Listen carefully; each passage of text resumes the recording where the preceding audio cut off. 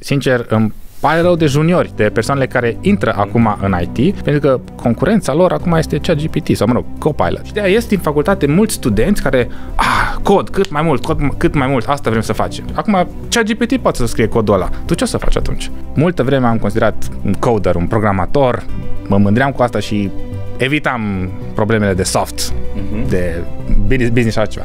Uh, de 2 ani jumate de când sunt consultant, de când sunt independent, mi-am dat seama că asta este o chestie super importantă ca să poți să înțelegi care e problema reală a clientului, să poți să-l ajuți, să-l ajuți și să-i aduci valoare. Sunt atâtea variante care le poți explora astăzi ca să faci să câștigi pâinea și nu numai pâinea, să câștigi chestii, să câștigi bine făcând chestii mai netradiționale. Dar pentru asta trebuie să înveți marketing, trebuie să te expui, trebuie să, asumi niște riscuri. Servus, bun găsit la Hacking Work, eu sunt Doru Șupeală. În episodul de astăzi ne întâlnim cu Roland Sabo, un inginer software cu experiență bogată care a devenit antreprenor, freelancer și consultant.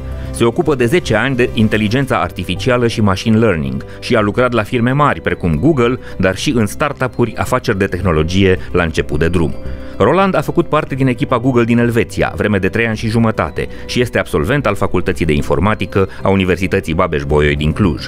Roland este un consultant de machine learning care ajută firmele din diverse sectoare ale economiei să adopte tehnologii moderne de inteligență artificială, precum ChatGPT, pentru a le crește productivitatea. Am discutat cu Roland despre modul în care evoluția inteligenței artificiale va influența profesiile și carierele celor mai mulți dintre noi. Podcastul Hacking Work vă este oferit de DevNest, compania compania de software pasionată de oameni, idei și know-how digital. Acest episod este sprijinit de MedLife, furnizorul național de sănătate al României. Proiectele Hacking Work sunt găzduite de Cluj Business Campus, biroul unde te simți productiv și motivat într-o comunitate vie și plină de interacțiuni. Să vă fie de folos și acest episod.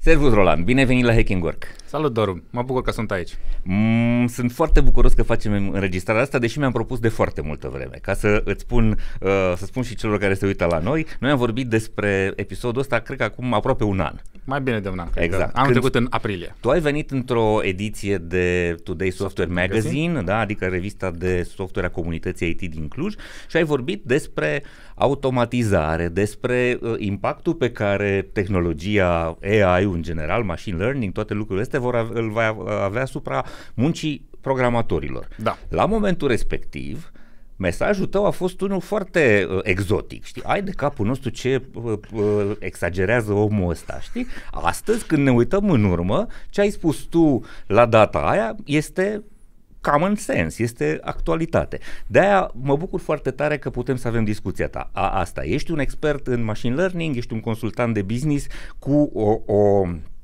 carieră impresionantă în zona asta, ai lucrat trei ani și jumate la Google în Elveția, da. ceea ce înseamnă foarte mult din perspectiva mea și cred că din perspectiva multora și vreau să intrăm acum uh, în toată zona asta legată de impactul pe care tehnologia asta nouă, uh, uh, cum să spun eu, AI-ul generativ, că e vorba de text, că e vorba de cod, că e vorba de imagini, că e vorba de tot, uh, tot spectrul de competențe pe care îl are deja uh, AI-ul, îl poate avea asupra muncii noastre. Și nu mă refer doar la IT. Da. Aș vrea să intrăm pentru că tu lucrezi în calitate de consultant cu companii din diverse zone, mi-ai zis că ai și un ONG, de exemplu, da. cu care lucrezi, și nu doar în România, ci internațional, să vedem în ce fel tehnologia asta nouă, că e, noi zicem GPT pentru că e cel mai cunoscut, dar da. sunt sute deja, probabil o să fie mii de platforme bazate pe uh, machine learning, pe inteligență artificială, nu, care vor produce ceva, vor ajuta, vor aduce un fel de valoare în munca noastră. Uh, am încercat să fac, încă nu am fost convins, eu am uh, în fiecare săptămână două uh, pastile la radio și am zis, băi, hai să încerc să-i dau lui CGPT să mi le scrie el. Uh, n-am fost deloc mulțumit, pentru că nu a fost în stare să-mi replice personalitatea. Însă, de înțeles subiectul despre care am cerut să vorbească, l-a înțeles perfect și a găsit referințe foarte bune. Și cumva mă ajută să-mi documentez uh, informația, să-mi aleg ideile principale, ulterior tonul, stilul de scriere uh, mi-l lasă mie, ceea ce mă ajută foarte tare trebuie să scrii mai mult conținut și să fii, devii mai popular, Doru, ca uh-huh. în, cea, în GPT-5 să, fi, să te cunoască mai bine, să, să, să, să te da, poate imita mai de bine. model. Nu, nu-mi doresc asta, cred că ar fi periculos, ar fi o armă la fel de periculoasă ca, uh, nu știu, un virus. Glumesc acum. Bun. Bun. Dar aici mai vreau să mai uh-huh. dau încă o chestie. Yeah. Nu știu cum ai încercat tu să zici să scrie acel conținut uh-huh. pentru pastila de radio, dar contează foarte mult cum îl rogi, rogi pe calculator. Sigur, promptul. Și ai uh-huh. pro, acel prompt, exact. Și e, exemplu cel mai simplu care pot să-l dau, uh, e un set de probleme de matematică pe care când a apărut GPT-3, s-a încercat să, i-au dat să rezolve probleme, și probleme simple, de clasa a 4 5 Și avea o corecție undeva de 20%. Deci, uh-huh. o problemă din 5 o făcea corect. Dacă îi adăugai, hai, rezolvă problema asta, let's think step by step, hai să ne gândim pas cu pas și atunci scria rezolvarea în sine, acuratețea a crescut la 80%. Aha, deci ai spus cum să gândească. Da. Aha. Asta a făcut o diferență de, de la 20 la 80%. Deci contează foarte mult cât de frumos îl rogi pe calculator. Asta da, cât de bine îi spui, da, cât de bine îi dai specificații. Da, și după aia, dacă te uiți ce fac unele aplicații care ajung să fie pe piață și care vând și au clienți, îți dai seama că, ok, ăstea au niște prompturi foarte serioase. Nu e numai că făm chestia asta, făm un design de interior, uh-huh. ci e foarte bine gândit. Făm un design interior care să respecte asta, care să evite aia, care să tot, tot, Mă bucur că am ajuns aici pentru că voiam să ajungem în IT. Și da. în IT, iată, una dintre, unul dintre lucrurile uh, cumva spectaculoase este această profesie de inginer de prompturi. Am citit despre ea, scriem deja, sunt salarii uriașe, companiile din state și acum sunt uh, anunțuri de joburi, uh, salarii de 200 de mii, de 300 da. de mii de dolari pe an, ceea ce înseamnă, închipuiți-vă, vreo 15.000 de dolari în mână lunar, sunt pentru ingineri care sunt capabili să-i spună uh, lui ChatGPT sau, mă rog, oricărui model uh, uh, AI ce fel de cod să scrie, dar să-i spună atât de precis acest prompt, aceste specificații, încât rezultatul să fie unul de foarte bună calitate. Da. Ajungem acum la industria IT. Cu siguranță treaba asta va avea un efect uriaș asupra industriei. Da. În mare parte, industria din România, vrem sau nu vrem să recunoaștem, ne convine sau nu, a fost o industrie de outsourcing. O, da. Un outsourcing de cele mai multe ori foarte rudimentar. În sensul că noi eram niște ingineri care scriam niște linii de cod conform unor specificații pe care ni le dădea clientul, reprezentantul clientului, că era un project manager, că era un product manager, că era un, nu știu, un, un coordonator de acolo. Treaba asta, astăzi, tocmai am discutat că o poate face AI-ul. Da. Adică o mare parte din munca asta brută de scriere de cod o poate face AI-ul. Când noi ne-am cunoscut, tu vorbeai despre uh, Copilot, care e al da. GitHub, care e integrat acum cu Microsoft, da. cu ChatGPT. Practic ChatGPT cred că se bazează foarte mult, nu pe, pe, da, pe very GitHub. Sure, very sure, da. pe, uh, deci, cumva, oamenii care lucrează în IT și uh, sau cei care se uită la un viitor în direcția asta sau cei care au rude în, uh, în, în industria asta trebuie să înțeleagă că munca foarte multor oameni care făceau doar treaba asta, execuție de specificații date de cineva, e în mare pericol. Da. Și, sincer, îmi pare rău de juniori, de persoanele care intră uh-huh. acum în IT, pentru că concurența lor acum este cea GPT sau, mă rog, Copilot.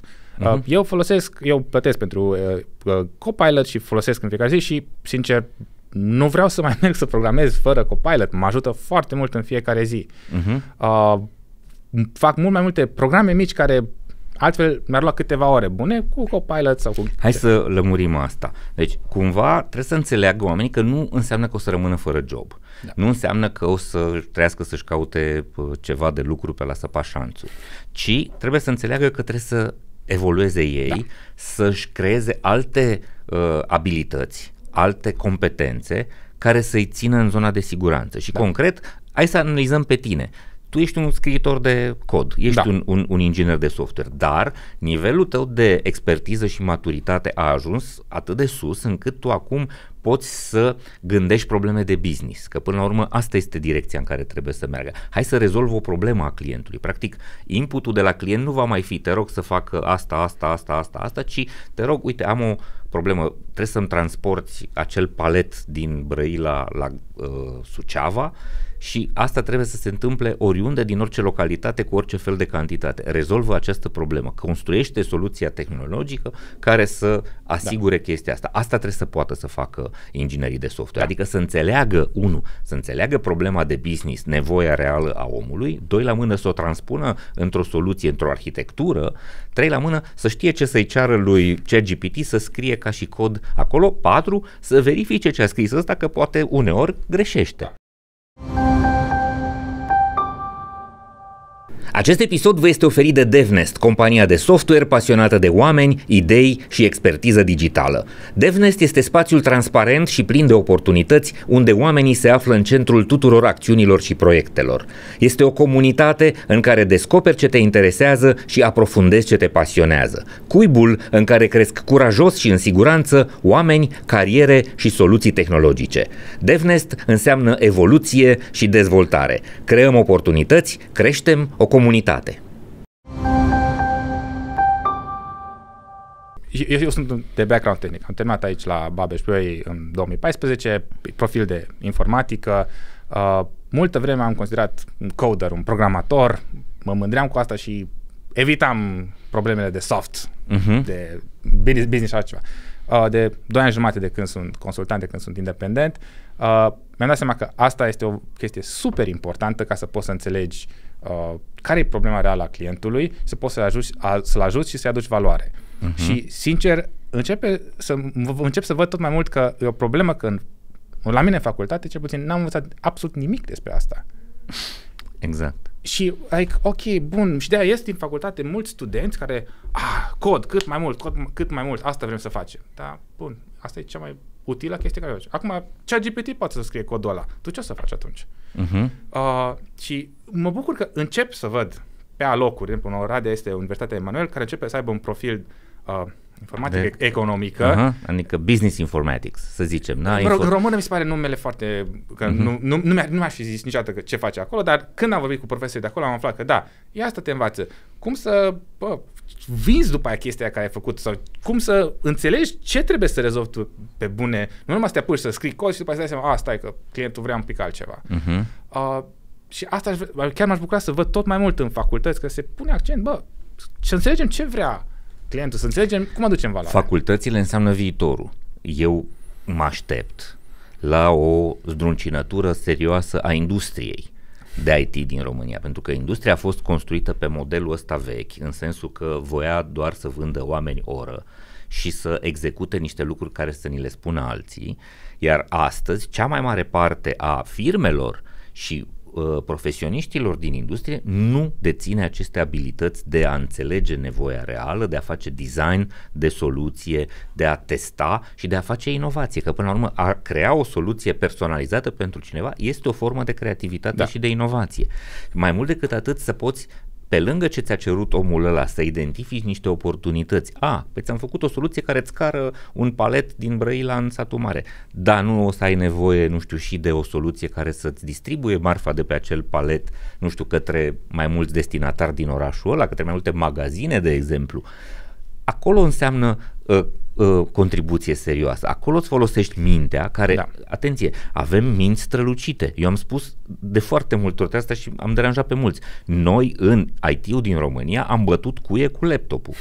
Asta am făcut. Avem laptopuri foarte scumpe, creiere extraordinare, da. oameni foarte capabili pe care i-am pus să facă, să sape șanțuri. Că până la urmă asta, să scrii cod după ce zice ăla, este munca cea mai rudimentară. Sap șanțuri. Da. Sap șanțuri într-un birou elegant, e adevărat. Da? Și nu transpir. E, e foarte păcat să nu le dăm oamenilor uh, cumva șansa să-și pună în valoare întreaga inteligență în a rezolva probleme complexe. Noi astăzi avem problema asta. Am ajuns cu prețurile muncii destul de sus, da. însă valoarea pe care o livrăm este destul de jos.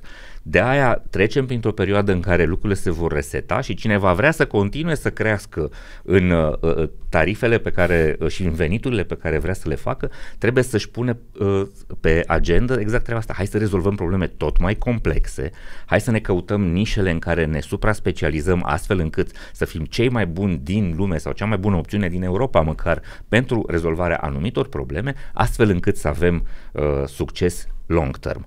Cu siguranță digitalizarea e abia la început. Industria asta va avea foarte mult de lucru, dar nu în modul în care a înțeles să facă treaba asta până azi. Da. Despre asta e vorba. Și de asta mă bucur că și în România este o mișcare să se încurajeze startup-urile, uh-huh. să facem firme de produs, care nu numai vând kilogramul de oră la exact. clienți din străinătate, și, pentru exemplu, eu din Oradea, acolo este un accelerator de startup-uri, uh-huh. Make IT în Oradea, care, în care sunt implicați, sunt și mentor acolo. Foarte bine. Și mă bucur că văd. și, și uneori vezi Exact. Astea Fost- sunt inițiativele Din corecte. liceu am văzut liceeni care au venit să vină cu o idee din, din facultate, vin oameni, mă rog, și vin și Mhm. oameni mai care au deja ex- mai multă experiență. Dar văd că începe îs niște începuturi mici, deocamdată Corect. firave, dar Managementul din IT-ul românesc are două probleme. Unu, nu știe să lucreze cu oamenii, este foarte bun tehnic, excelent tehnic, dar nu știe să lucreze cu oamenii, e foarte greu să construiești cultură, climat, să știi să faci echipe în mod adevărat. Doi la mână, nu știe business. Nu înțelege că business înseamnă să rezolvi nevoile cuiva după ce le înțelegi profund. Despre asta e vorba. Acolo trebuie să lucrăm. Dacă nu intervenim în zona asta de educație rapid, nu o să fim competitivi. Și asta înseamnă de cele mai multe ori, din păcate, pentru cei care sunt în management în IT, că vor trebui să meargă la școală și mulți dintre ei nu sunt dispuși să învețe și vor trebui să lase locul altora. Ai vorbit despre viitorul tinerilor. Da. Și pe mine mă îngrijorează. Faptul că uh, cerințele în industria IT vor fi atât de complexe, atât de sus, va pro- și faptul că uh, aceste tehnologii vor fi capabile să facă tascurile cele mai basic, cele mai simple, mm. va crea o piedică, o barieră uriașă de intrare în profesie pentru cei care sunt la început de drum, da. pentru cei care vin din facultăți, pentru cei care sunt acum juniori. Cum crezi că se poate rezolva treaba asta? Ce se va întâmpla cu cei tineri? Cu cei care sunt la început? care până acum au avut, cumva, alergau firmele după ei să-i angajeze din anul întâi de facultate. Asta da. se întâmpla și cumva îi plăteau, au, erau internship-uri plătite, au stat și ei într-un strat de puf și au crezut că, mamă, ce frumos e în industria asta. Acum s-ar putea să descopere că, hopa, a venit iarna. A, da, cred că pe de o parte deja a început să vină un pic iarna acolo, uh-huh. mai ales la programele de care zic că, bă, în șase luni de zile te învățăm să fii programator cu mii de euro, salarii de mii de euro. Uh, acolo cred că mulți care au trecut pe astfel de programe și au dat seama că stai că nu e așa de simplu. În șase luni de zile nu vezi destule ca să te angajezi o firmă exact. uh, să, și cu un exact. salariu de mii de euro. Mulți abia dacă cumva reușesc să intre pe un post foarte entry level cu un salariu mult mai mic. Și asta cei care au fost preocupați de ce se învață în da, școlile alea, pentru că au fost foarte mulți care s-au dus în școlile alea doar pentru diplomă. Da. Nici măcar nu au depus un efort să învețe ceva. Adevărul e că, în schimb, în ziua de azi e mai accesibil ca vreodată ca să faci tu ceva de la zero. Și până la urmă, asta contează și asta, asta se uită și că și mulți angajatori. Ce experiență ai, ce ai mai făcut, ce proiecte. Uh-huh. Și, sincer, eu și, și eu jobul de la Google, așa mi l-am uh-huh. găsit. Mi-am pus pe GitHub, care este un site unde poți să-ți încarci programele, am pus uh-huh. niște proiecte făcute de mine. portofoliu, exact. Și m-a văzut un recruiter de la Google, m-a contactat și a zis, vrei să vorbim? Da, clar, vreau să vorbesc cu cei de la Google. Uh-huh. Uh, am mers, după am avut trei interviuri telefonice, cinci interviuri în persoană, uh, dar faptul că am avut acel portofoliu acolo în care se mă arăt ce am făcut până atunci, m-a ajutat foarte mult și eu asta încurajez și acum pe tineri. Mă, fă ceva ce-ți place ție.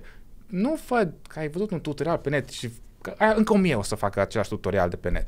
Fă tu ceva ce-ți place ție, la care îți place să lucrezi, să-ți arăți pasiunea pentru chestia asta. Uh-huh. Că altfel, și pasiunea și, cum să spun eu, capacitatea de a explora în profunzime problema, astfel da. încât să cauți o soluție originală. Asta se va căuta, pentru că robotul e capabil să reproducă niște baze de date care deja există. Da? originalitatea, creativitatea înseamnă să produci ceva nou care nu e în bazele lui de date. Acolo vei fi un pic mai safe. Acum, eu cred că Stable Diffusion și ăstea știu, au, au și idei creative, originale, care n-am mai fost văzute. Uh-huh. Uh, dar, de exemplu, nu cred că cei care vin, vor să bage, să merg la facultate de IT, de informatică, pentru bani, am o surpriză, o să aveți o surpriză nasoală în curând, pentru că da, pentru România poate că îs salarii relativ mari, dar nu o să te îmbogățești din chestia asta. Păi, cât ai? 2000, 3000, 4000 de euro ca senior după 10 ani, da? Bun, mai bine, dacă mergi ca, nu știu, medicină, mergi ceva de genul ăsta, o să câștigi mult mai bine, o să ai vilă mult mai mare decât Da, asta e un mesaj foarte corect. Caută-ți pasiunea, caută-ți vocația, s-ar putea să faci mai mulți bani ca instalator dacă îți place să faci instalații, să faci Absolut. mai mulți bani ca zidar, mai mult bani ca un constructor, ca arhitect, ca orice altă meserie, Absolut. medic, uh, nu știu, da. asistent medical. Și adevărul e că, ok, poate pare de multe ori și, și au fost multe exemple de programatori care, a, nu zic că freca aumentat, dar aveau zi ușoară la birou în fiecare uh-huh. zi. Dar la firmele mai serioase, unde și faci produse serioase, riscul de burnout este foarte mare. Uh-huh. Era un studiu de la făcut, nu știu, din America de undeva, în, pentru că făcut cu studenți, au urmărit studenți care de ce profil au terminat, în majoritatea domeniilor, uh, după 10 ani de zile, studenții, adică oamenii care au absolvit o facultate de un anumit profil, încă lucrau în acel domeniu. În IT, după șase ani, mai puțin de jumate mai profesau ca programatori. Uh-huh. Te că arde. Te arde. Te consumă. Și eu am intrat uh-huh. de două ori în burnout, în care uh-huh. eram mea până acum. Uh, îi îs presiuni mari, îs cerințe mari, mai ales când ajungi, lucrezi la un, am lucrat pe în echipa de Gmail, am fost acolo când am avea un miliard de utilizatori. Dacă uh-huh. crăpa Gmail-ul și când eu eram on call, bă, un miliard de utilizatori nu-și puteau citi e-mail-urile. Uh-huh. E o presiune foarte mare asupra ta. Uh-huh. Și, mă rog, mult, multe alte joburi unde bă, îți lucrezi cu date foarte mari, costuri foarte mari, costul server, tot, și tu ești responsabil. E o presiune mare pe tine. Uh-huh. Chiar vrei să faci chestia asta? Chiar crezi că poți să susții asta 10 ani, 15 ani, 20 de ani? Că statisticile zic că majoritatea oamenilor nu pot. Deci dacă nu ești pasionat de asta, eu nu recomand oamenilor IT-ul. Acest episod vă este prezentat de MedLife, furnizorul național de sănătate al României. MedLife a lansat singurul abonament medical 361 de grade, un abonament complet care include servicii de prevenție, sport și nutriție, dar și asigurare medicală. MedLife susține dezvoltarea unui mediu de business puternic în România și împreună cu Hacking Work vă oferă inspirație prin idei valoroase pentru organizații sănătoase. Foarte bun mesajul ăsta, Roland. Îți mulțumesc pentru că uh, cumva oamenii trebuie să înțeleagă că e important să lucreze, să-și aleagă ca profesie ceva care chiar îi atrage. Altfel nu o să putem să trăim da. fericiți, o să avem frustrări mereu, o să mergem acasă supărați. Da. Sunt deja demonstrații limpede, uh, foarte clare științifice că viața uh, copiilor tăi e afectată de modul în care uh, trăiești tu la serviciu, performanța lor școlară, relațiile din familie se strică profesia și ce facem în cele 8, 10, 12, nu 6 ore, nu contează cât lucrăm, ne, e un lucru extrem de important da. în viața noastră. Să căutăm, așadar, să facem lucruri care ne plac. Da, și aici avantajul e că putem, nu, nu mai e ca acum 50 de ani, pe vremea părinților mei, că nu, uh-huh. nu prea aveai de ales. Singur. Și Era, cumva erau câteva o carieră pentru 30 de ani. Exact. Uh-huh. Astăzi ai o libertate de a alege și poți să-ți construiești multe surse de venituri, poți să faci o mulțime de chestii. Și eu ca și consultant independent am încercat multe chestii, am ținut cursuri, uh, fac consultanță, fac development. Astăzi poți deveni influencer pe, YouTube. influencer pe YouTube. Și aia e o chestie din care unii oameni fac o mulțime de bani și atunci, nu știu, filmezi chestii legate de ce îți place ție. Poate asta e variantul major. Sunt atâtea variante care le poți explora astăzi ca să faci să câștigi pâinea și nu numai pâinea, să câștigi chestii, să câștigi bine făcând chestii mai netradiționale. Dar pentru aia trebuie să înveți marketing, trebuie să te expui, trebuie să, asumi niște riscuri.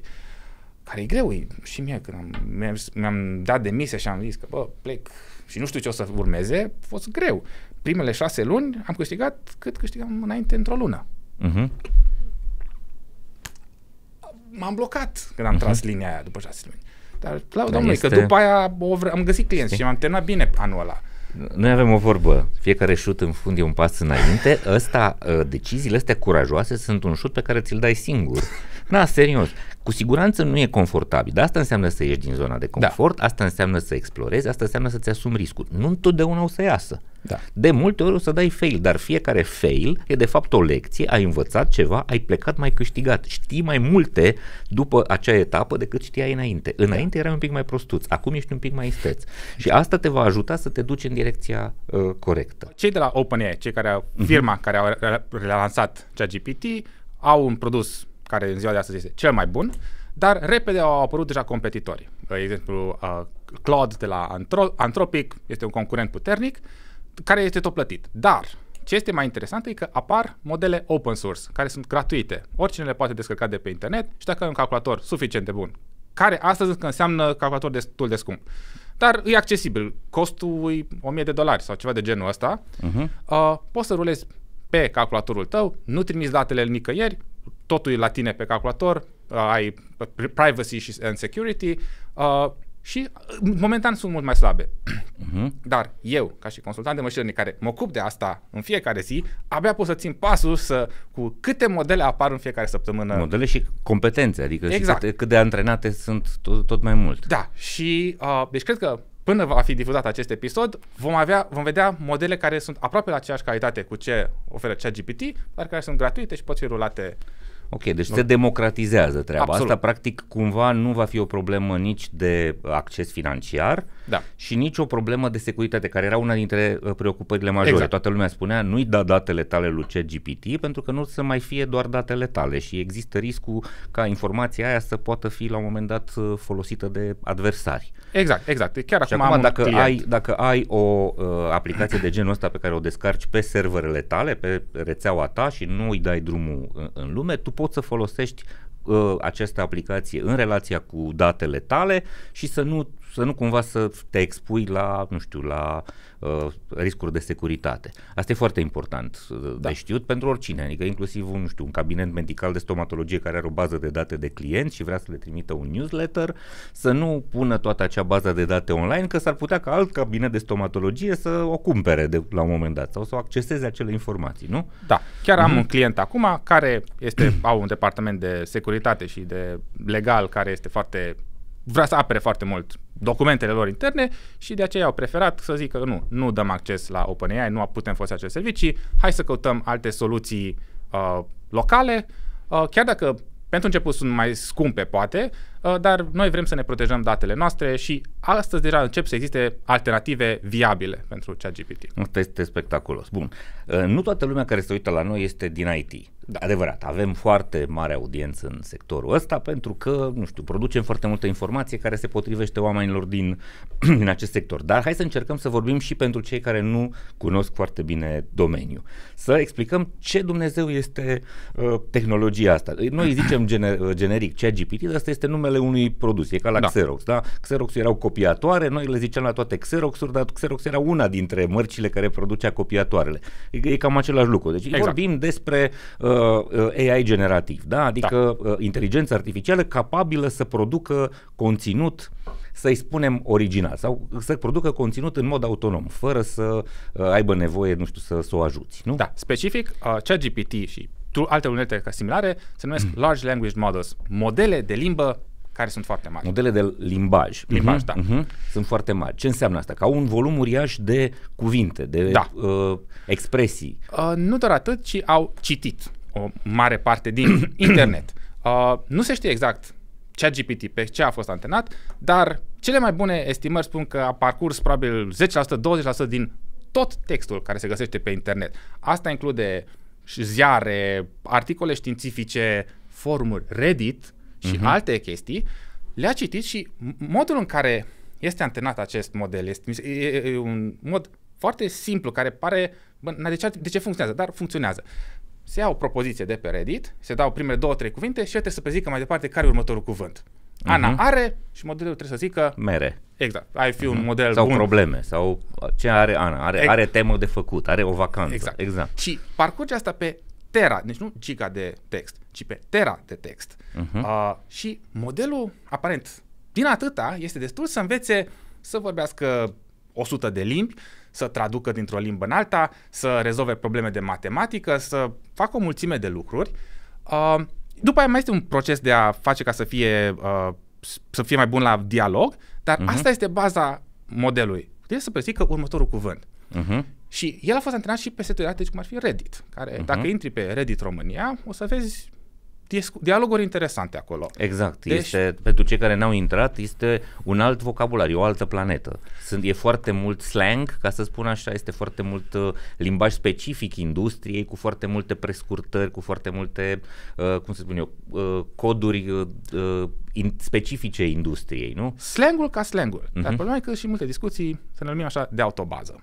Ah, ok, se și vă înjură, se și vorbește urât, de acord, dar și asta e limbaj, și asta este expresivitate. Da, dar asta înseamnă că modelul a învățat aceste lucruri. Mhm. Uh-huh. Asta vine, e o parte integrală a lui. E foarte greu să scoți și să controlezi, să faci un model care să nu fie, care să nu aibă, din care să nu poți scoate chestii rasiste. Uh-huh. Și asta e o chestie dificilă. Uh, Microsoft, în urmă cu 5 ani sau 6 ani, a lansat un chatbot pe Twitter care tu i-a dat drumul. Hai, vorbește cu cine vrea, îi scria un mesaj și îți răspundea. Care a învățat în câteva zile, a devenit cel mai rasist și xenofob și absolut orice chestie, că bă, trebuie să-l oprească, că spunea lucruri foarte uh-huh. nasoale.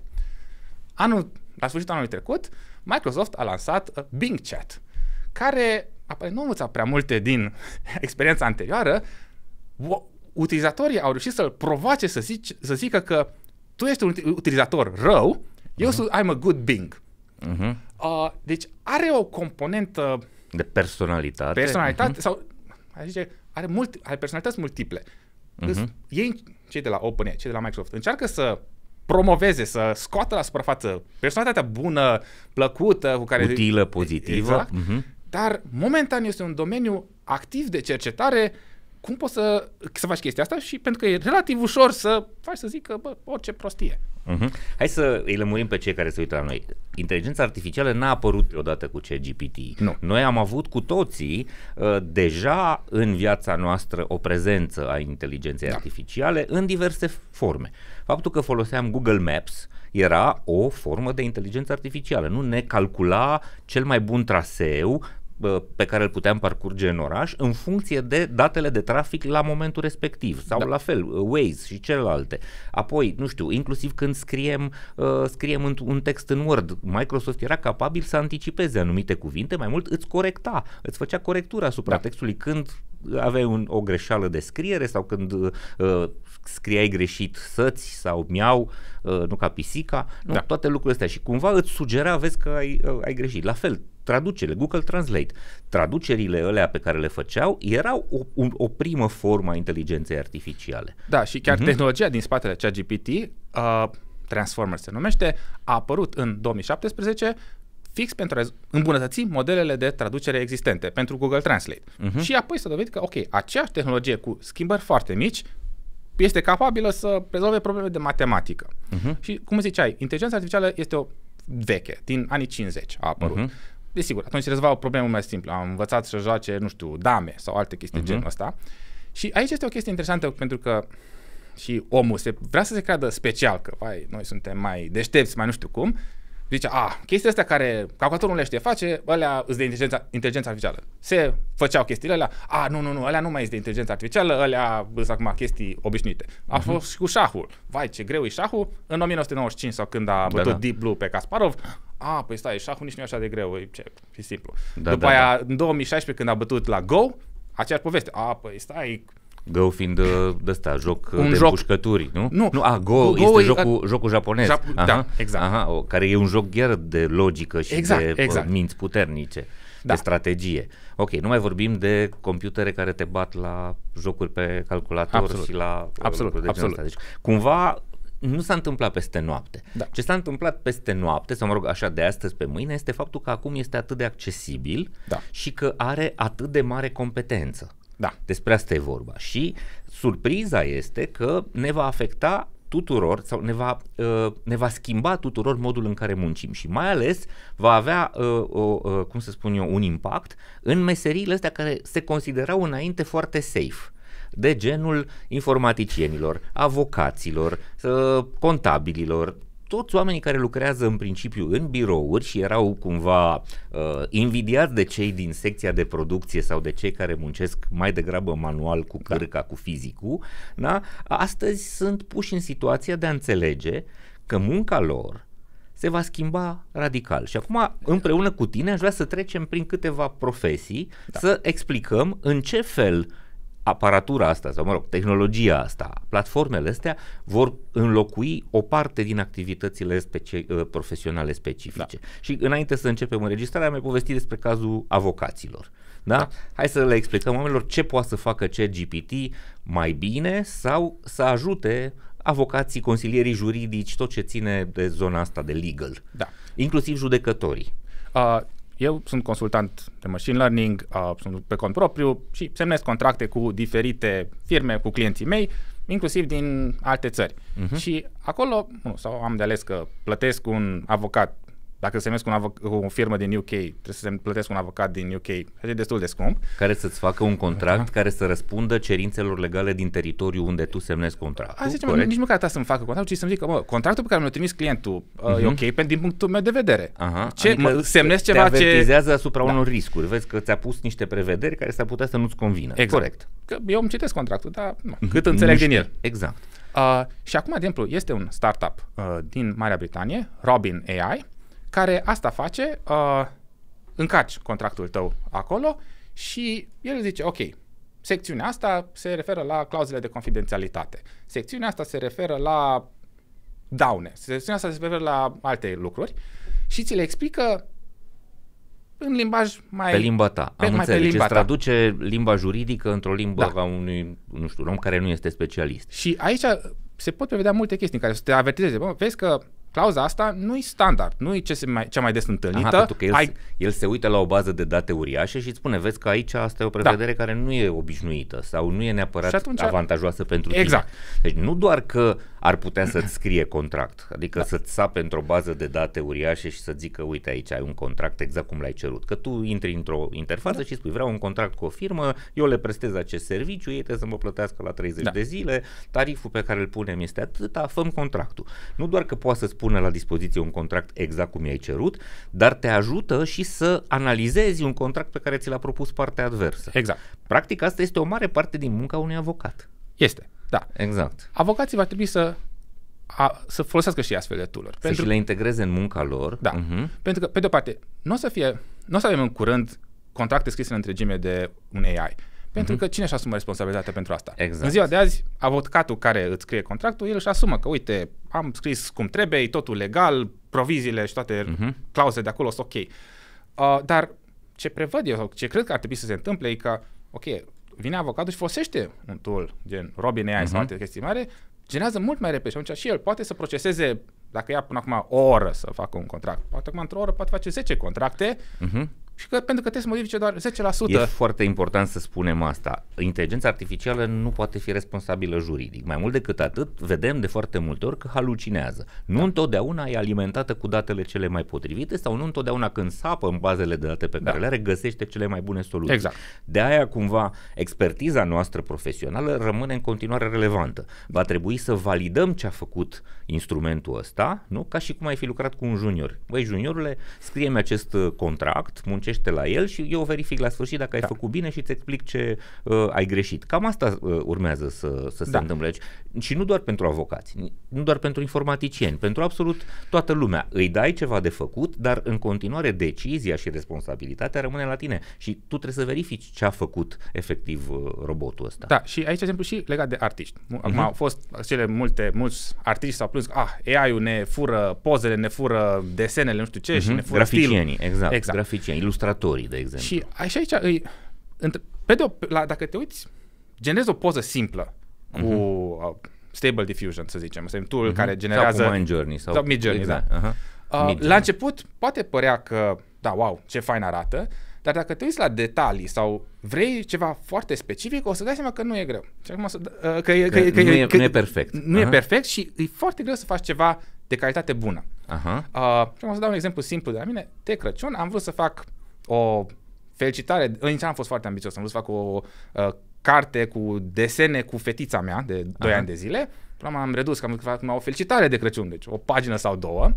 Am investit vreo 20 de ore ca să antrenez un model care să știe cum arată fetița mea, care să știe cum ce stil să desenez și tot îmi mai ieșea uneori că fetița mea avea șase degete la o mână. Aha. Slavă cerului că nu are șase degete, e sănătoasă. Uh, sau apărea tot felul de chestii ciudate. Uh, n- pentru cineva care nu e în dom- dacă ar fi fost cineva un grafician care desenează chestia asta, el ar fi putut să rezolve problema asta în două ore. Într-adevăr, ar fi început cu ceva ce i-a dat Mid Journey, editare, tușa un pic, scotea acel deget Aha. în plus, făcea în două ore, ceea ce poate altfel ca să-mi facă o felicitare de Crăciun îi lua 20 de ore, uh, așa putea face în două ore. Pentru că el știa, știe deja Photoshop, știe, nu știu ce unelte folosesc Mhm. ei.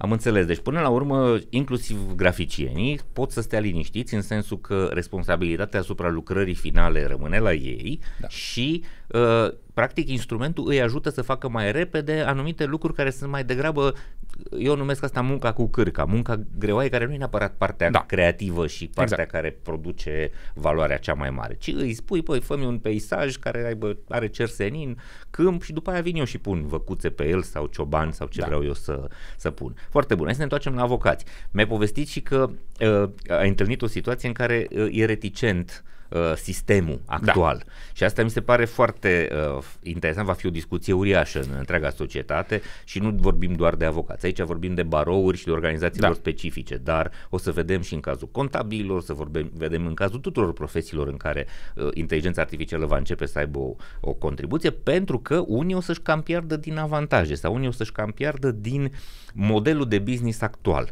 Și aici ai vorbit de barouri. Barourile sunt, nu, nu, nu doar că sunt reticente, amenință membrii că dacă vor folosi AI în a genera documente, da. îi pot elimina. Da. și unul că n-au cum să verifice asta, mi se pare uh, naiv, doi la mână că e ca și cum uh, ești ca ludiții, știi? Ludiții erau oia care când au apărut mașinile cu abur în Anglia, au zis să se desfințeze mașinile cu abur că le luau lor joburile, pentru că ei munceau cu cârca în uh, uh, uzinele de prelucrat uh, bumbacul, știi? Și au zis, bă, mașina aia lucrează mult mai repede și face mai multă treabă, noi o să uh, ne rămânem fără. Sau uh, tră, uh, ăștia, șoferii de, bă, cei care conduceau trăsuri, da? Când au văzut mașinile care circulă, au zis, nu, le trebuie să iasă de pe șosele pentru că noi, noi cărăm oamenii cu caii. Uh, Așa se face, nu e voie. Deci cumva e, să te opui progresului este uh, Bun, iluzoriu. Aici vreau să adaug o paranteză. Din câte uh-huh. știu eu, ludiți într-adevăr au încercat să distrugă acele unelte de care Uh-huh. Automatism, mă, mașini, primele Ma- mașini, da, generația întâi de mașini. Dar, din câte știu, nu erau pentru că erau împotriva progresului, ci pentru că vreau să aibă și o parte din A uh, beneficiile, profitul pe care aduceau acele mașini. Asta este o perspectivă nouă. Aici mi se pare și corect. Asta uh-huh. cred că e ceva ce va trebui să ținem cont ca societate, că ok, vine AI-ul și acum vine OpenAI care Microsoft a investit 10 miliarde de dolari în ei. Uh, cine va lua profitul? Tot, tot profitul de pe urma la ChatGPT? Microsoft care deține jumătate din OpenAI uh-huh. sau și îl împărțim cu toții. Îl împărțim cumva. Care, în, uh-huh. în, în, în o întrebare foarte deschisă. Încă nu, nu știm ce va urma cum, care e soluția cea mai bună pentru societate. Uh-huh. Dar asta este o discuție care trebuie să avem, mă, dacă automatizăm, înlocuim cu roboți, în ghilimele, cu uh-huh. tot felul de tool gen OpenAI, poate trebuie taxate alea. Poate Singur. fiecare apel către ChatGPT, fiecare folosire a ChatGPT-ului trebuie să plătească la stat, nu știu. Eu mai am o, mai am o perspectivă aici. Sigur că odată uh, va fi nevoie ca uh, aceste, acești giganți care vor face profituri uriașe ar trebui să împartă acest beneficiu cu societatea. Dar mai e o, o, o, o zonă pe care eu o expun în unele cursuri ale mele și unii dintre oameni spun, a, ești cam comunist. Uh, care e asta? Uite, de-a lungul anilor, tehnologia a îmbunătățit randamentul și productivitatea tuturor. Și eu dau exemplu cu zidarul. Da, acum 20 de ani, un zidar făcea, nu știu, să zicem, 10 metri pătrați de zid într-o zi. Din cauza că trebuia să-și cam care singur uh, uh, cărămizile, să-și prepare singur uh, maglavaisul cu care da. lipește. Acum Ulterior au venit tot felul de instrumente care îl ajută. Practic, astăzi, un zidar poate să facă 30 de metri pătrați într-o zi pentru că îl ajută multă tehnologie. Deci, cumva, productivitatea a crescut foarte mult, însă veniturile, recompensa zidarului nu a crescut cu, cu, aceeași, uh, uh, cu același procent. Deci, cumva, progresul tehnologic a ajutat într-un fel omul să muncească mai ușor, dar veniturile, în veniturile lui acest, această productivitate crescută nu se vede la fel de bine. Nu știu, ai pus grese și faianță în ultima vreme, în ultimul... În ultimul... Uh, a, ok, sunt cazuri de genul ăsta. Eu, spre norocul meu știu să fac asta și o fac cu plăcere, dar știu la ce te referi că sunt foarte rari specialiștii, nu? La asta mă refer și că, că e foarte scump. Îmi fac casa acum și uh-huh. acum mă apropiu la, la 90% gata Sper că poate mă mut anul acesta. Uh, dar ce s-a scumpit. Meșterii care uh-huh. știu să fac o treabă bună. Asta este, mă bucur că am ajuns aici, uh, uh, o să clarific imediat și treaba asta cu productivitatea. Trebuie să înțelegem că în momentul în care dăm mașini, uh, raportul pe care l-am văzut, l-am văzut recent, este un raport al Ministerului Muncii din Statele Unite, se cheamă Bureau pentru Labor Statistics, ceva de genul ăsta, și care arăta exact disproporția asta. Deci sunt niște date științifice care preocupă pe foarte multă lume în, în lume, pentru că frustrările pe care oamenii astăzi le au în fața comp- companiilor pentru care lucrează, neîncrederea, lipsa de engagement, lipsa de motivație vine din faptul că foarte mulți oameni, în multe domenii, au sentimentul ăsta că nu împărțim corect rezultatele da. muncii noastre. Despre asta e vorba, ăsta e mesajul pe care am vrut să-l dau. Și acum revenind la meseriaș.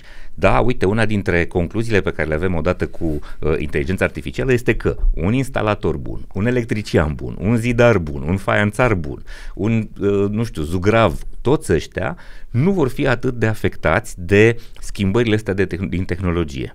Da. Sunt, iată, meseriile care țin de dexteritate, cu siguranță teoretic poți să le robotizezi. Practic, nu e productiv să le robotizezi. Da. Nu o să avem foarte curând niște roboți care să fie capabili să construiască case. Da. Mai degrabă o să avem, nu știu, niște aparatură care o să facă o casă 3D. Ți-o printează, uh, nu, uh, într-o formă finală. Deși e foarte greu de Da. da. E deja, încă este SF zona asta. Deci cumva asta e una dintre concluzii. Meserile care țin de dexteritate, de muncă manuală, de pricepere în a face lucruri de finețe, de la bijutieri până la, nu știu, frizeri, coafori, cei care aranjează bărbi, Da. uh, cei care fac cafelele în uh, astea de specialitate, nu vorbesc de aparatul care face Da. da. singur, toată lumea e un pic mai uh, puțin afectată de această revoluție tehnologică. Acesta se numește uh, paradoxul lui, lui Moravec, Aha. uh, care deja de vreo 20 de ani a, sau 30 de ani a avut această observație că sunt multe lucruri care pentru oameni sunt super simple de făcut. Să te plimbi, să mergi pe obstacole, să mergi pe un teren Mhm.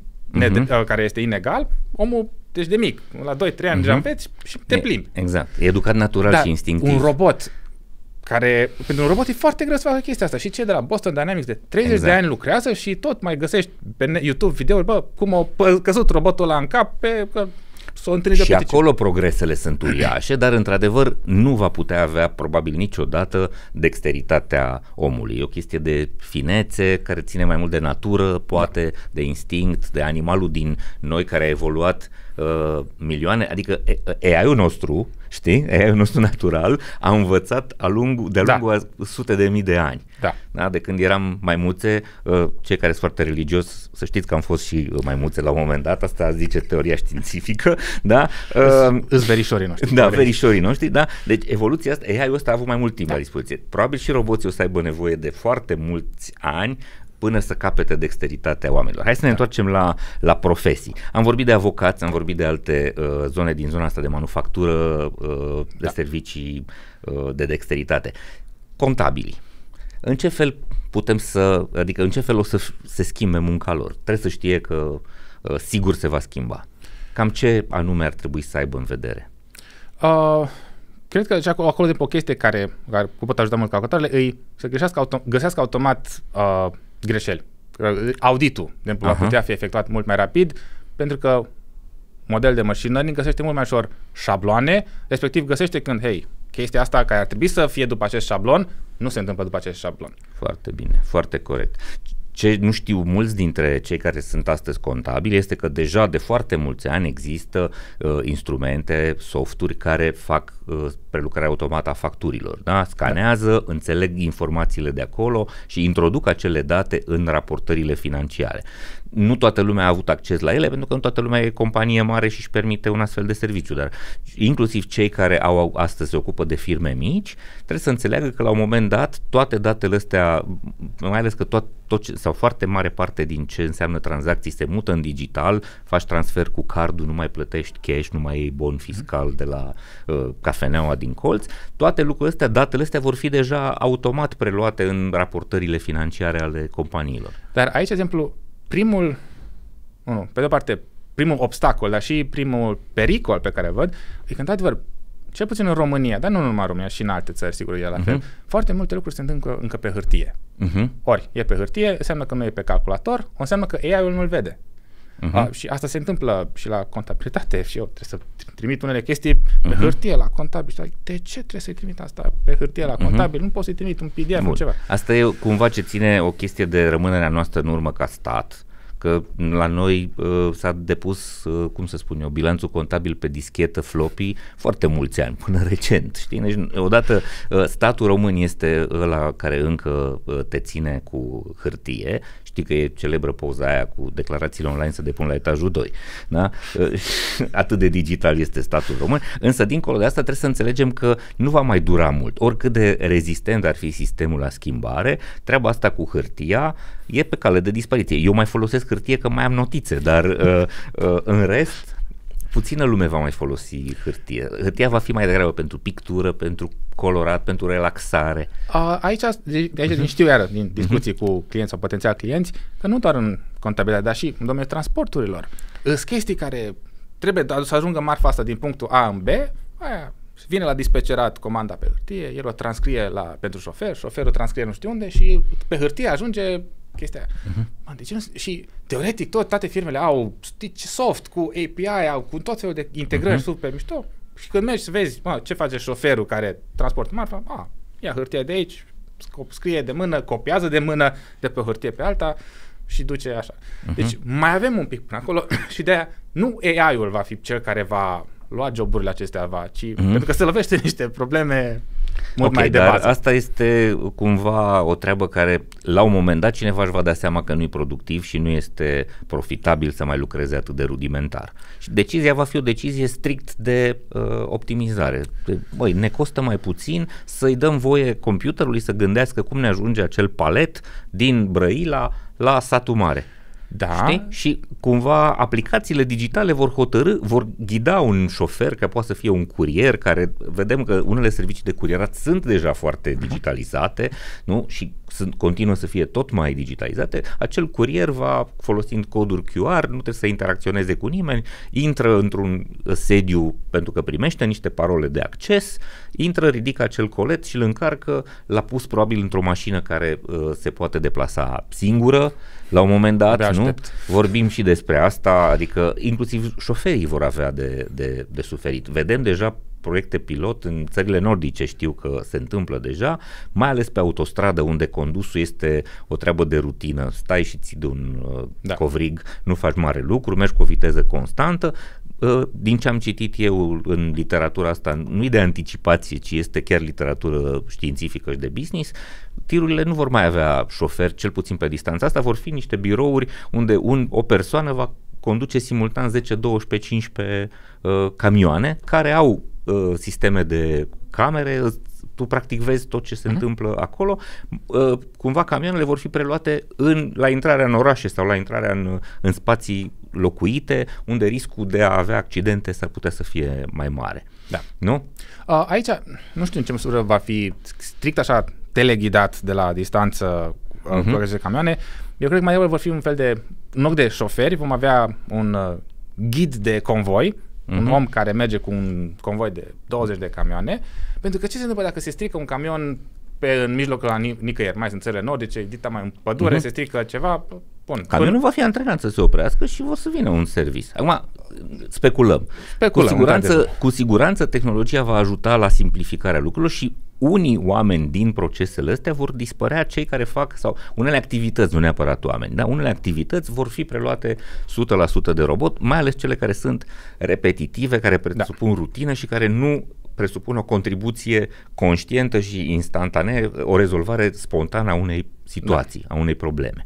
Bun, hai să mergem în alte zone. Secretariat, relații cu clienții, mai ales avem foarte mulți oameni în România care lucrează în ceea ce se cheamă business process outsourcing. Unii prelucrează facturi, alții sunt în call center, sună, da. fac vânzări, alții, nu știu, uh, se ocupă de reclamațiile clienților, preiau tot felul de reclamații. Noi știm deja, de ani de zile există chaturi destul de competente pe multe uh, site-uri care cumva te ascultă, știu, au deja o bază de date cu problemele clasice și tu i-ai spus o problemă și el îți răspunde. Dar lucrurile astea cu siguranță vor progresa și mai mult. Da, uh, există deja. Uh, uh-huh. Din păcate, mulți, multe, mulți chatbots care existau până acum aveau o calitate destul de slabă și de mulți utilizatori preferă să fac orice numai ca să nu folosească acest chatbot. Știu, am pățit-o, și mi se pare stupid, în multe site-uri, învață... e-commerce, de exemplu, ai de capul meu. Exact, uh-huh. exact. Uh, dar, acum cu GP, ChatGPT și tehnologiile similare, este un ca- salt calitativ la Uriaș. cât de bun uh-huh. e, vor fi, va fi acest chatbot uh, și cred că, într-adevăr, se va trece mult mai mult în direcția asta. Cel puțin 80%, 90% din întrebările uneori stupide ale clienților. Da, de multe ori oamenii nu știu, nu știu exact. unde să caute sau n-au mai făcut, n-au mai Da. cumpărat și întreabă sau Da. n-au mai fost în situația aia. Întrebarea aia cumva uh, softul observă că se repetă nu știu, Exact. și o va ține minte, o va învăța și ba mai mult decât atât va fi suficient de inteligent încât să răspundă pe tonul pe care uh, omul îl așteaptă. Da. Da? Eu am văzut inclusiv capabilități la uh, aplicațiile astea de a spune glume, de a te Exact. calma. Exact. Deci e capabil să înțeleagă că ești nervos și are anumite tehnici de comunicare încât să-ți, uh, să te detensioneze, să-ți spună o glumă, poate face o greșeală intenționată, tocmai ca să te scoată din starea aia de nenervi și să ai sentimentul că nu vorbești chiar cu un perete, Da. da. un ecran, ci vorbești cu ceva mai isteț decât uh, atât, chiar dacă înțelegi că până la urmă e un robot acolo. Da, și și pe partea de data entry, ziceai de Mhm. facturi. Softurile care nu sunt bazate pe GPT, dar mă rog, uh, Mhm. există chestii cu machine learning care pot să înțeleagă documente de orice fel, de la facturi la uh, astea de bo- borderouri de curiera sau alte chestii, să extrage datele și să le bagă, bage într-o bază de date, care de multe ori asta se întâmplă manual. Și astea de există softuri care cu acuratețe de 99% fac Mhm. chestia asta. Deci și acolo vor fi Da. schimbări mari. Uite, alte zone, designerii. Am, ieri m-am întâlnit cu niște arhitecți care fac design de interior și le-am spus, băi, ați uh, consultat instrumentele astea să vedeți cam ce, ce pot. Cu siguranță deciziile finale de design interior o să le ia în continuare designerul care discută cu clientul, însă în procesul ăsta de a face o amenajare interioară și a construi, nu știu, șapte variante, 10 variante, uh, tehnologia asta te va ajuta foarte, Foarte, tare, îți va, da. uh, îți va uh, urgenta o, o mare parte din... uh, Da, și nu atât, dar și pentru arhitect, de exemplu, cred că, uh-huh. Mhm. adică, nu, hai să fim serioși, la case ai anumite constrângeri care, bă, tot timpul așa trebuie să faci, îs, sau mă rog, Sigur. îs reglementări din Sunt niște calcule legal, că exact, uite de cât de mare rezistență. trebuie să fie baia, cât, Mhm. uh-huh. cum trebuie să fie astea, bă, le, le cam poate face destul de automat. Deja le fac o mare parte din instrumentele de proiectare. Te ajută foarte da. mult, însă acum cumva o să fie și mai mult uh, ajutor. Da. Deci trebuie să înțelegem că uh, o mare parte din muncile grele și mai boring pe care le făceam uh, o să fie făcute de ei. Roland, îți mulțumesc tare mult. A fost o discuție foarte bună și sunt convins că o să ajute pe foarte mulți oameni. Pentru că Ești un om care vine din IT, care a descoperit că IT-ul nu înseamnă doar a scrie cod, ci și care a adus un mesaj odată realist, atenție, vin vremuri complicate, dar și o- pe de altă parte optimist. Băi, există opțiuni, nu se sfârșește lumea, da. trebuie doar să ne dorim să evoluăm și să găsim zona în care m, suntem buni și vrem să uh, rămânem acolo. Da. Corect? Da. Doru, mulțumesc că m-ai chemat la podcast și mi-a plăcut și mie discuția. Mulțumesc tare mult. Dragii mei, sper să vă fie de folos. Mulțumim că distribuiți conținutul ăsta, facem podcastul ăsta pentru că vrem să fie toți oamenii care se uită la noi să lucreze la serviciu și foarte puțin sau deloc să fie la scârbiciu. Uh, Căutați Hacking Work, avem newsletter, avem podcast, avem o mulțime de uh, articole pe blog, sperăm să vă fim de folos, astfel încât viața voastră profesională și implicit viața voastră personală să fie mai bune. Să ne vedem sănătoși, voioși și mintoși la următorul nostru episod. Servus! Îți mulțumim că urmărești Hacking Work, ne oferi feedback și le spui despre noi și colegilor sau prietenilor tăi. Facem Hacking Work pentru a produce o schimbare profundă în piața muncii prin educație. Vrem să aducem progres în profesie și performanță pentru un milion de oameni în decurs de 10 ani. Fiindcă toți vrem să mergem la serviciu, nu la scârbiciu.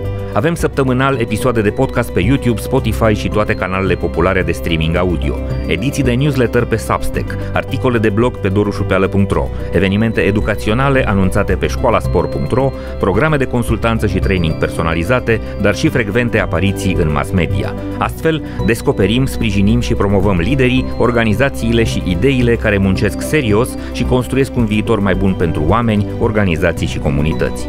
Proiectul multimedia Hacking Work vă este oferit de DevNest, compania de software pasionată de oameni, idei și know-how digital. O comunitate profesională în care cresc curajos și în siguranță oameni, cariere și soluții tehnologice.